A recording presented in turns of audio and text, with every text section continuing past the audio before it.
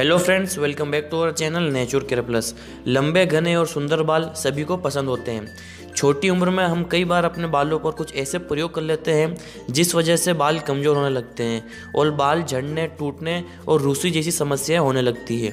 बालों की देखभाल ना करना, बालों में कलर करना, बालों पर क्रीम लगाना और बालों को ज़रूरी पोषण ना मिलना, कुछ ऐसे कारण हैं जिनसे लॉन्ग हेयर की खूबसूरती खराब हो जाती है। और कई बार किसी रोग का इलाज करते वक्त, किसी मेडिसिन के साइड इफ़ेक्ट से होने से भी बाल उड़ने लगते हैं और गंजेपन की समस्या देखने को मिलती है। अगर आपको अभी तक ऐसी कोई भी समस्या नहीं हुई है। तो हमारी सलाह यही है कि बालों पर किसी भी तरह के प्रयोग से दूर रहें और सुंदर बालों के लिए हमेशा नेचुरल और आयुर्वेदिक तरीकों को ही अपनाएँ। बाज़ार में मिलने वाले अधिकतर हेयर ब्यूटी प्रोडक्ट्स केमिकल युक्त होते हैं और साथ ही साथ महँगी भी होते हैं। इसके इस्तेमाल से बालों को नुकसान भी हो सकता है। बालों को लंबा घना और मज़बूत बनाने के लिए आज की इस वीडियो में आपको ऐसा नुस्खा बताएँगे जो बहुत ही ज़्यादा कारगर है और आयुर्वेदिक है। तो इस नुस्खे को शुरू करने से पहले अगर आपने हमारे चैनल को सब्सक्राइब नहीं किया है, जल्दी से सब्सक्राइब कर लीजिए। इसके लिए सबसे पहले यहाँ पर मैं लूँगा दही। दही हमारे बालों की अच्छी देखभाल के लिए और हमारे बालों को स्प्लिट टेंस के मज़बूत के लिए बहुत ही ज़्यादा फ़ायदेमंद होता है। इसलिए हम यहाँ पर आधी कटोरी दही का इस्तेमाल करेंगे। दही का इस्तेमाल पुराने ज़माने में भी अपने बालों के लिए किया जाता था, जिससे कि बाल काफ़ी ज़्यादा मज़बूत, लंबे और घने होते थे। अब हम इसके अंदर दूसरी चीज़ डालेंगे आंवले का पाउडर। ये हमने आंवले का पाउडर लिया है, सूखे आंवले का पाउडर है। आप चाहे तो आंवले को जब ताज़ा आंवले होते हैं, उसको भी पीस कर उसका इस्तेमाल कर सकते हैं। लेकिन हमने यहाँ पर आंवले का पाउडर का यूज़ किया है। तो आधा चम्मच हमने आधा आंवले का पाउडर इसमें ले लिया है। अब हम इसके अंदर डालेंगे मेथी दाने का पाउडर जी हाँ दोस्तों, ये मेथी दाने का पाउडर है।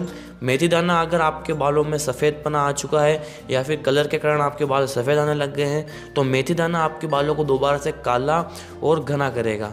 आपके बालों में शाइन देगा और साथ ही साथ आपके बालों को मज़बूत भी बनाएगा। अब मैं इसके अंदर डालूँगा बादाम का तेल।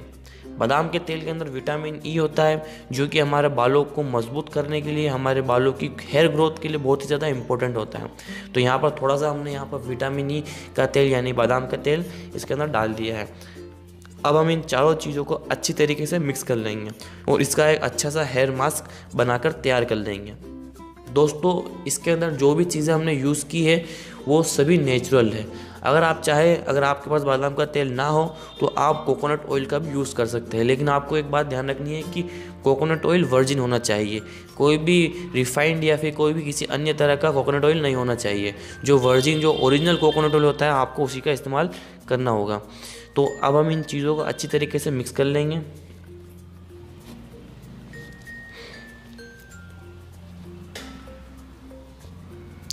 तो हमारा भी हेयर मास्क बन के तैयार हो चुका है।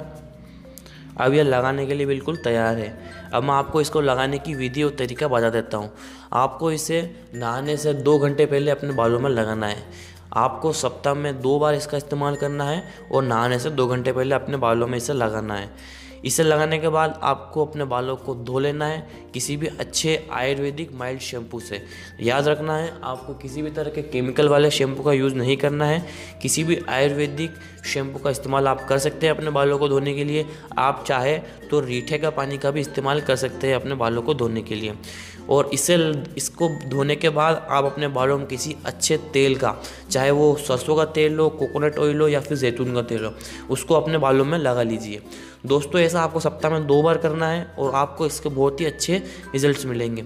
दोस्तों, वीडियो पसंद आई हो तो वीडियो को लाइक करें शेयर करें और हमारे चैनल नेचुर केयर प्लस को सब्सक्राइब करना बिल्कुल भी ना भूलें। धन्यवाद।